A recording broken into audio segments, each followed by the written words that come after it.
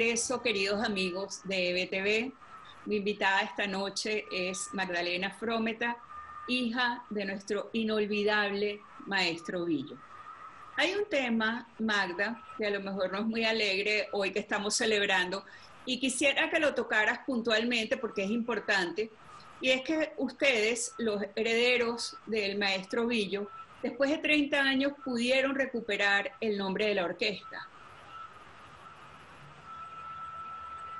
Efectivamente, Carolina, tú lo has dicho, después de 30 años intensos, muy intensos, pero bueno, 11 eh, hermanos, estamos unidos en reconocimiento de lo que legalmente nos pertenece.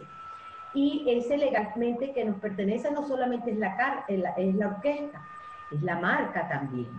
Y estamos por el rescate de la música y el la música de mi padre, lo bueno que mi papá hizo, el respeto al público, un respeto al público, porque no puede ser que haya varias Villos Frometa o Villos Caracas Boy, no, ¿qué es eso? Es una, es una la que fue el maestro Villo, es una la que, la que es de los herederos. ¿Y alguna vez han pensado, perdón, Magda, ¿Alguna vez han pensado en declarar la Orquesta Villos Caracas Boy Patrimonio Cultural de Venezuela?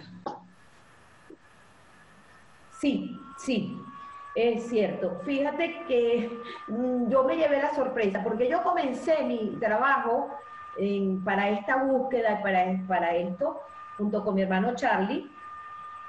Empezamos, fue por ahí, a ver qué se podía hacer. Y nos encontramos con que no solamente la orquesta, sino que ya hasta el busto que hay de mi papá en el centro de Caracas es patrimonio. Pero ah, resulta que como no había aparecido, no habían aparecido los sucesores, ¿verdad? Sino uno, dos, entonces eso legal no, no tiene una legalidad completa. Pero al nosotros ahora tener toda la parte de, la marca, de la orquesta y todo, los sucesores, y la orquesta se llamará Villos Caracas Boy Sucesores, ¿verdad? Entonces, esa es la otra parte que ya existe en un libro, ya existe como patrimonio, pero había que darle la legalidad también a eso. Claro, pero eso es una gran alegría. este es el otro paso.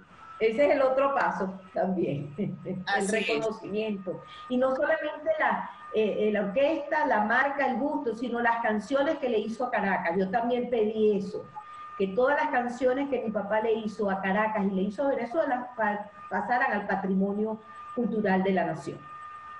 Claro, por supuesto, con todo, con todo derecho.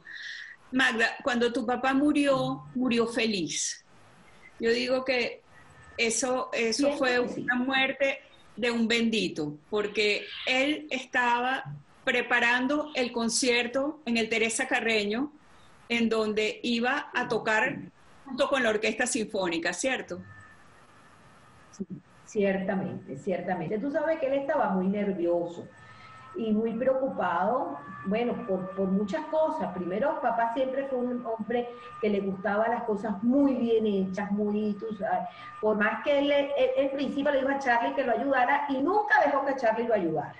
Entonces, él se encargó de toda la música. Después, para él, decía, un músico de la talla, el músico popular, bailable, dirigir la orquesta sinfónica, no fue muy fácil al principio, ¿sabes? La cosa hubo como un poquito de controversia, pero después la fluyó, porque ellos tampoco sabían que mi papá tenía eh, dos piezas sinfónicas hechas por él.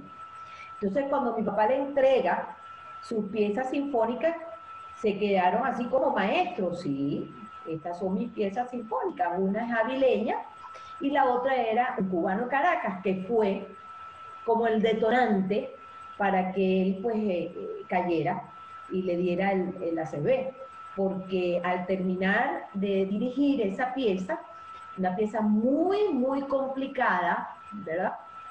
Los músicos se pararon y empezaron pues a, a aplaudirlo. Y eso, la emoción, pues, la emoción acabó. Y ese cuento me lo sé, no porque estaba ahí, pero estaba mi hermana Bárbara, porque mi hermana Bárbara sí estaba en el coro de todas las canciones que se iban a interpretar y todas esas cosas, ¿no? Y entonces, que por cierto, hablando de Ariel, quien la iba a interpretar era el negro de la salsa, Oscar de León. Imagínate. Él iba a cantar Ariel esa noche. Sí. Y bueno, Pero fíjate que y bueno, yo pienso que sí, que papá murió de esa manera, pues tranquilo. Feliz, feliz, homenajeado. Sí, y el entierro de tu papá, yo creo que ha sido uno de los entierros más emotivos que yo he visto en mi vida. Yo lo vi por televisión y yo no podía parar de llorar. Pero, pero era por él. Yo pienso que hasta ahora de todos los entierros que he visto de políticos, presidentes, esto, aquello, yo no he visto todavía ni uno como el de mi papá. Así es. Quizás esté equivocada. Yo pienso que no. Pero como el de mi papá, una cosa increíble, increíble, increíble. Y eso siempre, mira, uno lo agradece al público enormemente, de verdad. Y por lo mismo, por ese mismo agradecimiento, uno tiene que salvar lo que ese hombre hizo con tanto amor, con tanto además, además es recíproco, porque nosotros recibimos tanto de él que fue el momento pues de decirle gracias maestro Villo por todo lo que hizo. Y, y, bueno, yo quisiera terminar este programa, además de darte las gracias por, haber, por habernos acompañado esta noche y tener este momento de distensión que tanta falta nos hace. Eh, poner una canción que yo creo que es como, es como un himno para mí, que estoy contento. Porque estoy contento es como el reflejo de la venezolanidad, ¿sabes? Y que nunca perdamos eso los venezolanos, esa alegría que teníamos y que podemos volver a recuperar. ¿Sabes? Discúlpame, voy a aprovechar a decirte que estoy contento. Tiene un cuento en la vida de mi papá. Precisamente, él hace Estoy contento cuando rescata de nuevo en 1960 la nueva orquesta, la Tercera República.